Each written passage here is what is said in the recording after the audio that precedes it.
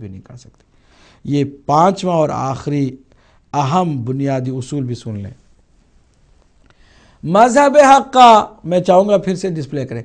मज़हब हक का सिर्फ़ वही मज़हब हो सकता है कि जो तमाम इंसानों की नजात और कामयाबी का जामिन हो।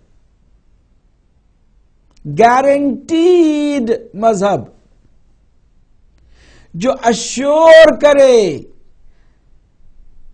हर इंसान को कि अगर उस मज़हब पर तुम चलोगे तो ज़रूर तुम्हें नजात मिलेगी और ज़रूर तुम कामयाब होगे। नजात और कामयाबी अगर किसी मज़हब में जामिन बनकर इंसान को नहीं बुला सकता है तो फिर ये तो दुकानदारी हुई। अगर ये कंडीशन बुनियादी उसूल जो पांचवा है अगर ये ना हो तो वो मज़हब क्या हुआ? बल्कि दुकानदारी हुई। दुनिया और आखिरत में तमाम इंसान के जो इस मज़हब को मानने के लिए तैयार हुए, उनके नजात और कामयाब होने की जमानत मिले ये पाँचवें उसूल पर भी तवज्जो कीजिए। अब जिस मज़हब में नजात का यकीन दिलाता, दिलाया जा रहा हो, कामयाबी का यकीन दिलाया जा रहा हो, वही मज़हब मज़हब का हो सकता है। अब जिनको खुद अपनी खबर नहीं है,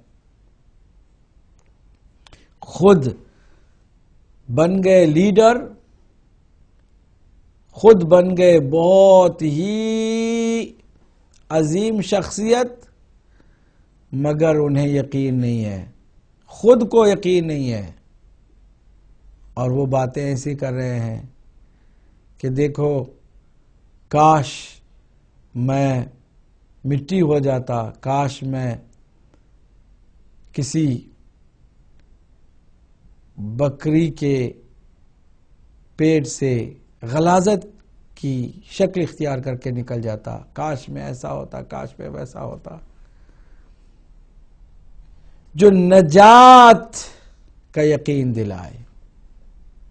जो जमानत ले हमारी कामयाबी की, उनका रास्ता वो मज़हब मज़हब हकीका हक़ा है और उस पर अमल करना इंसान अपनी नजात और अपनी कामयाबी को यकीनी बनाने के मुतरदफ है। नाजरीन, इसी पर मैं इतफ़ा करता हूँ। आज मैंने बुनियादी बातें, बुनियादी असूल मज़हब हक़ा के बताए हैं। अगले इन प्रोग्राम में हम उन्हीं बुनियादी असूलों के मुताबिक देखेंगे कि कोई मज़हब है भी या नहीं है।